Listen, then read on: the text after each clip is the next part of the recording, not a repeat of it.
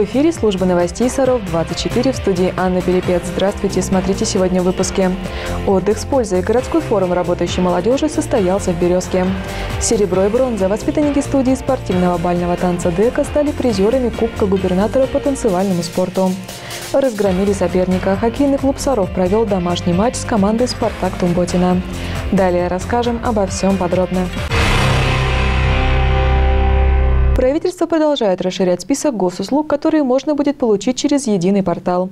Со следующего года там появится еще более 100 региональных сервисов, предназначенных для граждан и бизнеса, сообщил премьер-министр РФ Михаил Мишустин на оперативном совещании со своими заместителями. Раньше такие услуги были доступны лишь на онлайн-площадках самих субъектов Российской Федерации и сайтах профильных ведомств, либо вовсе не предоставлялись в электронной форме – Речь идет о некоторых пособиях на детей, о проведении техосмотра автомобилей, приеме налоговых деклараций и ряде других услуг, в том числе регистрации прав на недвижимость.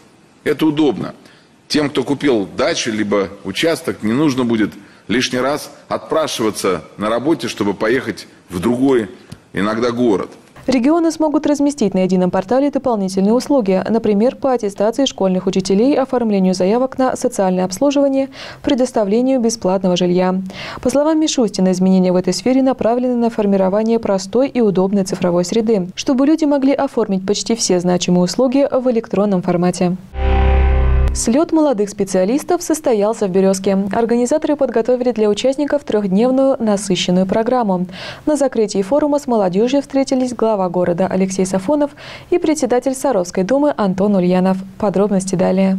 Сила, гибкость, координация. Акро-йога сочетает в себе асаны и акробатические элементы. Поскольку в создании позы участвуют двое, необходимо доверять друг другу. Многие ребята пробуют себя в этом стиле йоги впервые. Сейчас участники форума изучают основы, прорабатывают некоторые элементы, учатся держать баланс, правильно ронять напарника, если что-то пошло не так. В процессе занятия ты начинаешь очень сильно доверять партнеру, и мне так кажется людям в целом, потому что я уже, наверное, думаю, я могу стать с кем-то другим. Вот. Во-вторых, э, очень сильно физическая подготовка на самом деле улучшается, особенно у базы, вот, в плане того, что ножки очень сильно качаются. И в целом я, наверное, даже хотела бы походить в дальнейшем на это все.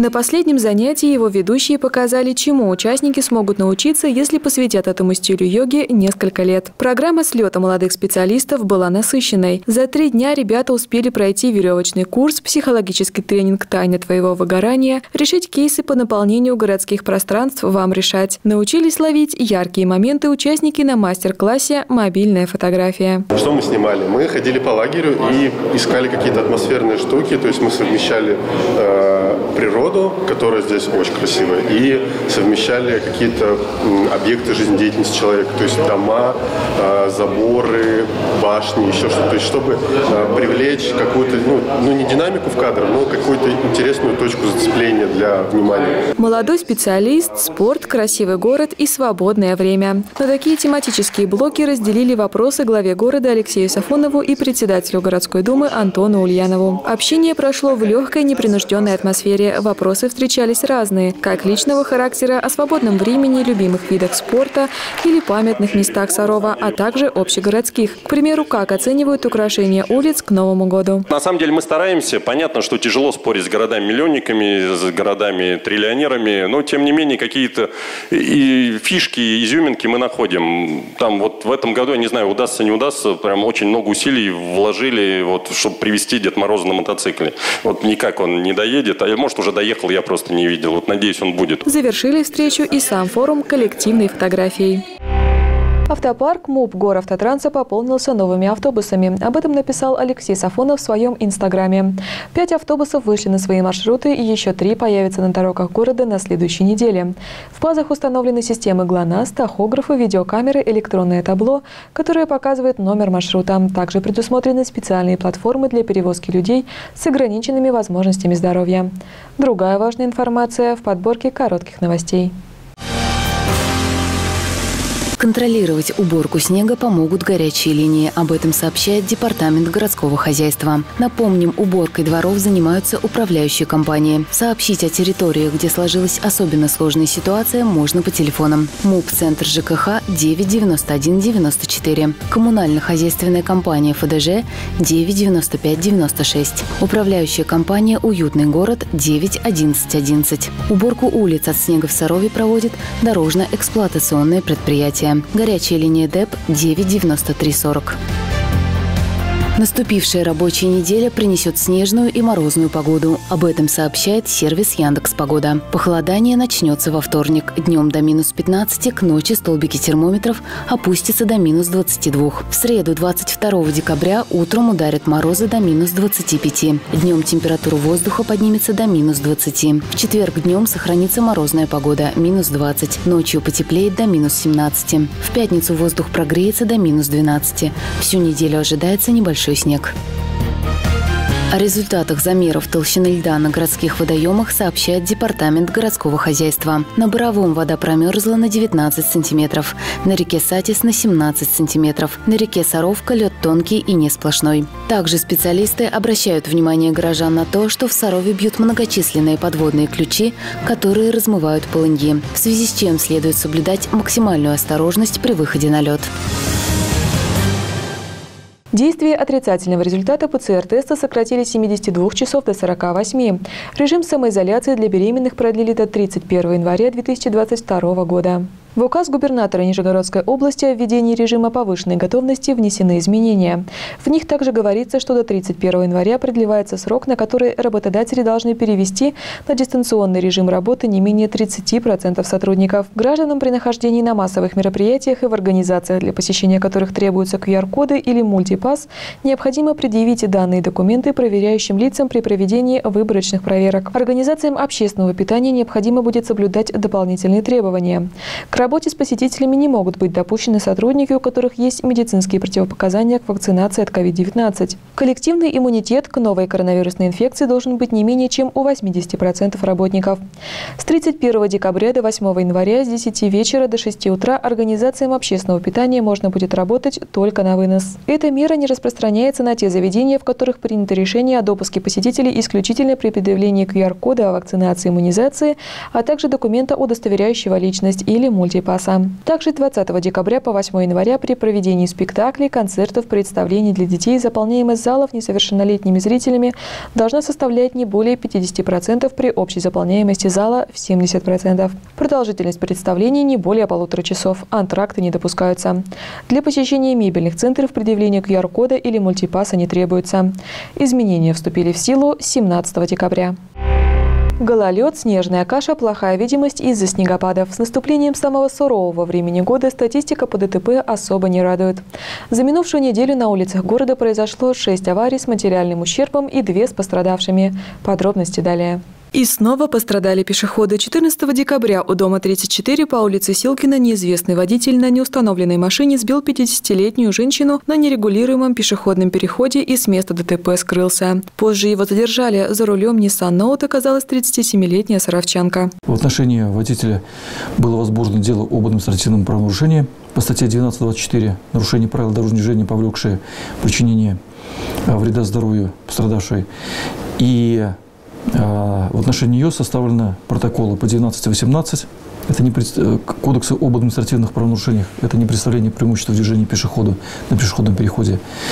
И э, оставление места дорожно-трассового происшествия. Пострадавшая после ДТП чувствовала себя нормально. Переговорив с водителем, отправилась домой. Но позже ей стало хуже, и она обратилась в больницу. Девушке грозит лишение прав на год-полтора и административный арест до 15 суток. Напомним, покидать место происшествия нельзя, даже если пострадавший уверяет, что хорошо себя чувствует. Зачастую у нас так получается. Изначально пешеход говорит, у меня ничего не болит, мне ничего не нужно.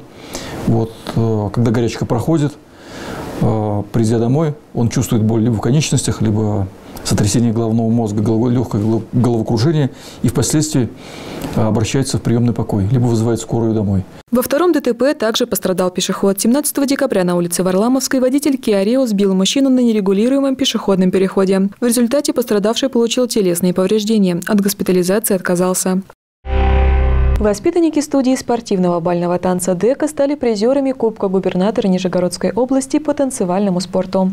Подробности в следующем репортаже. На Кубке губернатора Нижегородской области по танцевальному спорту Владислав Захаров и Мария Казанцева исполнили латиноамериканскую программу из пяти танцев – самбо, чача, румба, пасадобль и джайв. В Нижнем Новгороде воспитанники студии спортивного бального танца «Дека» завоевали бронзовые медали по своему разряду и вышли в финал. Это международный турнир, были соперники из э, разных городов, э, республик. Э, также наши соперники – это наши соклубники, которые, с которыми мы видимся каждый день, но на соревнованиях нам приходится вместе встречаться, и мы выясняем между собой, кто лучше. Так как перед этим турниром мы посетили множество турниров в Москве, то было легко танцевать и, в принципе, довольны результатом. Мария Казанцева занимается в студии уже 10 лет. Танцы – важная часть в жизни девушки. Вместе со своим партнером Мария постоянно совершенствует танцевальную технику и оттачивает мастерство в многочасовых репетициях. На самом деле вся тренировка как раз-таки 10 лет идет, то есть с самого начала до этого конкурса, до каждого конкурса мы тренируемся, к каждому конкурсу мы готовимся ну, очень сильно заранее, мы знаем, на какие конкурсы мы будем ездить. Э, ходим на вот прогоны, как раз таки танцуем очень много в неделю, э, чтобы на конкурсе представить свой лучший танец.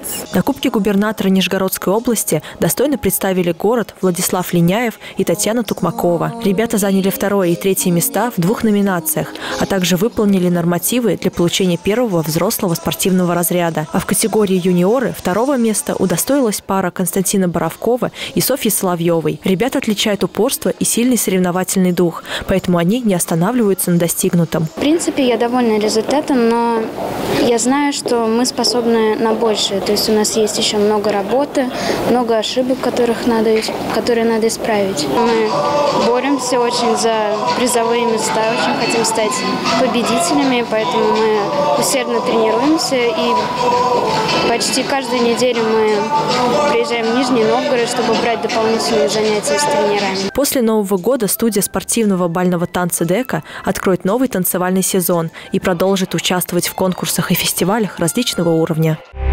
Ярким и богатым на заброшенные шайбы получился домашний матч ХК «Саров» с командой «Спартак» Тумботина.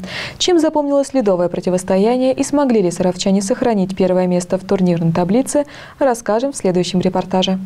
Из-за травм у игроков команды «Спартак» приехал на матч с Саровым в небольшом составе. Но это не помешало гостям открыть счет на первой минуте матча. Гол стал неожиданностью для наших хоккеистов. Впрочем, саровчане быстро взяли себя в руки, сравняли счет, а потом и вышли вперед. На перерыв команды ушли со счетом 4-2. Начали, конечно, мы плохо, раскачивались долго первые 25 секунд сразу пропустили, но потом в следующей атаке я забил гол. Мало хоккеистов у них, во-первых. То есть, ну, конечно, 9 человек, оборона будет страдать.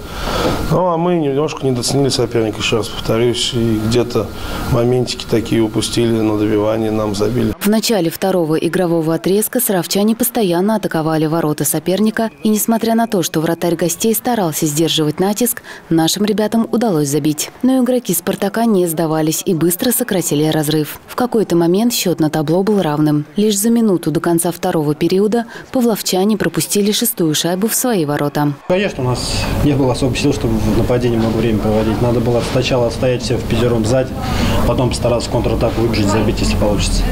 Где-то добавить вовремя ногами, где-то обыграть, если получится. Третий период отметился большим числом силовых приемов со стороны «Спартака» и удалениями в составах обеих команд. С каждым ударом ворота гостей градус на льду накалялся. Но на четыре забитые саровчанами шайбы павловчане смогли ответить лишь одной. По итогам матча наши ребята сохранили лидерство в турнирной таблице с 18 очками. В следующий раз ХК «Саров» проведет домашний матч 4 января с торпедой из Лыскова. Уважаемые любители хоккея, уважаемые болельщики, поздравляем вас с наступающим Новым годом. Желаю вам счастья, крепкого здоровья и приходите болеть за нас на хоккей. Редакция канала 16 поздравляет тренера и игроков ХК «Саров» с наступающим Новым годом и желает желает ярких побед. А мы напоминаем, что посмотреть прямые трансляции и запись прошлых игр вы можете на нашем канале в Ютубе и группах в социальных сетях. И это все, о чем мы успели рассказать сегодня. Следите за новостями города в группах канала 16, в социальных сетях ВКонтакте, Фейсбук и Одноклассники.